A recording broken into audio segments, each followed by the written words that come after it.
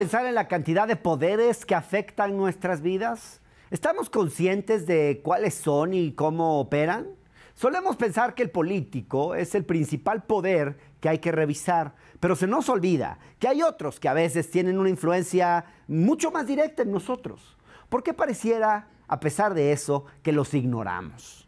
¿Qué hay del poder económico y, de, y del poder de los medios hegemónicos de comunicación?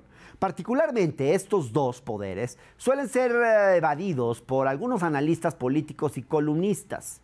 ¿Será que hay poderes que sencillamente no se tocan en nuestro país? ¿O será que alguien no quiere que hablemos de ciertos temas que involucran a ciertos poderes?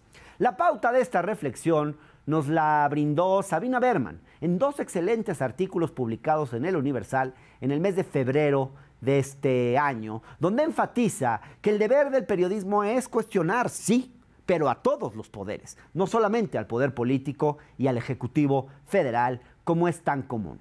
En nuestro país, quizás por tradición, la percepción del eh, poder es bastante simplista. Solemos pensar que este se concentra en la dimensión política, particularmente en la figura presidencial. Y en esa lógica, esta se convierte en el objetivo diario de críticas y cuestionamientos. No es gratuita esa atribución de que México es un país presidencialista, porque en efecto es una figura que magnificamos con bastante naturalidad.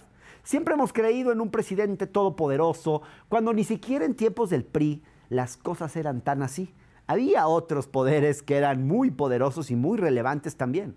¿Qué hay de los otros poderes del sistema político? ¿Qué hay del putrefacto poder judicial de la federación? ¿Qué hay del legislativo, de los partidos, de los organismos autónomos que la gente imagina eh, depositarios de todo lo virtuoso?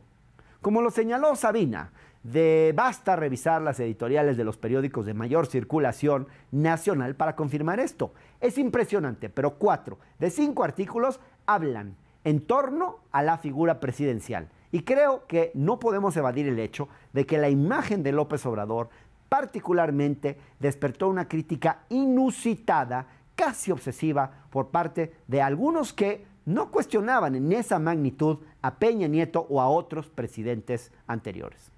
La gran omisión es el poder económico en nuestro análisis. Quizás este sea el que menos cuestionamos, a pesar de que en México el 1% de la población concentra el 43% de la riqueza nacional. ¿Y qué tal el poder mediático comercial? El que hace pactos con el poder político para beneficiar o perjudicar funcionarios, posicionando eh, ideas según el juego político que mejor le convenga a los medios de comunicación o según cuánto le paguen, para decirlo claramente, o qué hay de los silencios que el poder mediático guarda sobre el poder económico. Ah, por ejemplo, a ver, ¿se acuerdan de esa campaña sucia desplegada por todos los medios para impedir que López Obrador llegara al poder? ¿O qué me dicen de esa falsa propaganda que durante el sexenio de Enrique Peña Nieto se divulgó para hablar del Mexican Moment y defender sus reformas estructurales. Bueno, a ese contubernio me refiero.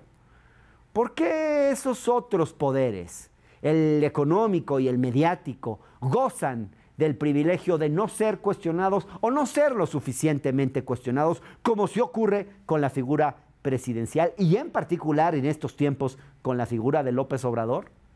¿Será comodidad intelectual la que nos mantiene a raya de los otros poderes?